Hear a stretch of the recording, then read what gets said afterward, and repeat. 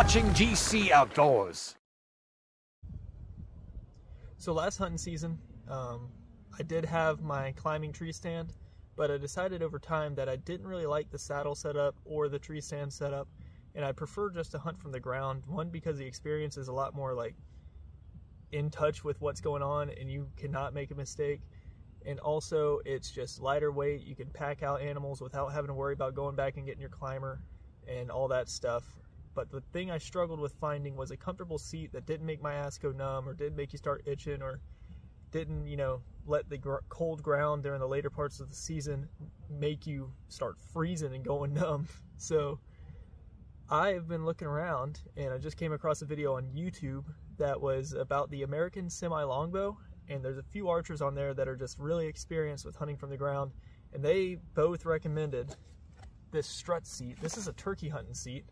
You can see it's uh, longer in the back and shorter in the front, so it has an angle to it, which is really nice. It's just far enough off the ground to where most places I hunt, it'll be uh, it'll keep me dry enough and keep me at an angle to where my hips aren't, you know, cutting off blood flow to my legs. Especially wearing muck boots and stuff, sitting on your feet isn't comfortable. Um, but it keeps me lower to the ground than a five gallon bucket or, you know, one of those tripod seats that dig up in your crotch and just aren't comfortable for longer sits. Um, but this thing is packable.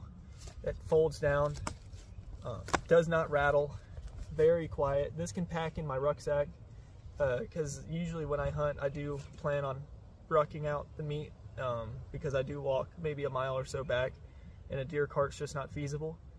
So this thing seems to be the perfect little setup. And I've sat in it a few times, it's pretty comfortable. I'll show you how it works here. Just pop it out.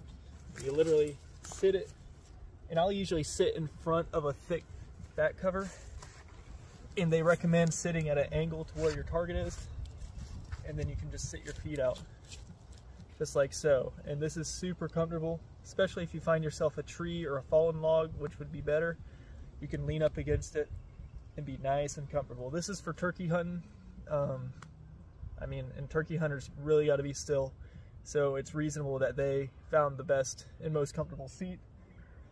Let's take some shots from it and just see how it looks. I know when it comes to other seats that rely on a lot of heavy foam and thick padding to make yourself more comfortable, it's very loud, but this seat is just that webbing. It's like seatbelt webbing.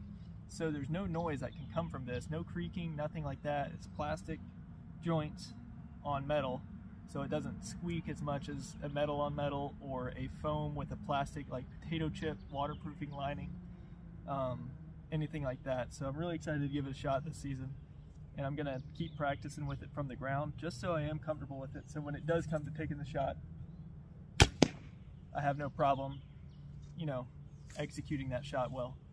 Thanks for watching.